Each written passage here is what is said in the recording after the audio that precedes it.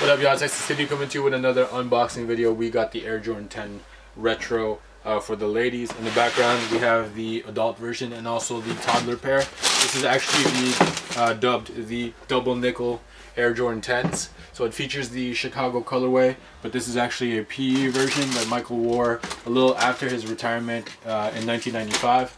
He played at Madison Square Garden and scored 55 points uh, that that night. So it's pretty cool that we see like a PE version that he wore during the time that he scored 55 points uh, come back uh, in a retail space like ours. Uh, so let's start by reviewing the bottom of the shoe. You got the Air Jordan 10 bottom with the accomplishments and all the milestones that he attained during that time. You also have the Jumpman at the back right there in white.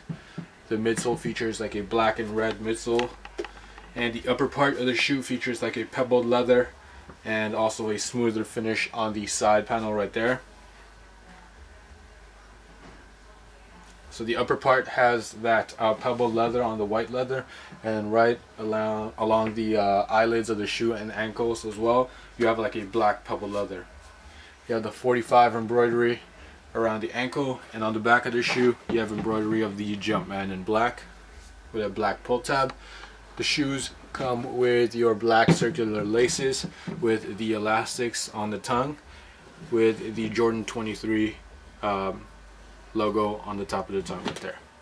For more information on how to purchase these shoes, you could contact us at 514-846-8887. You could also contact us in the West Island area at 514-626-4434 and the Brossard location at 450-443-8887. And finally at our newest location in Laval at 450-681-8777. Don't forget to check out our website, exclucitylife.com.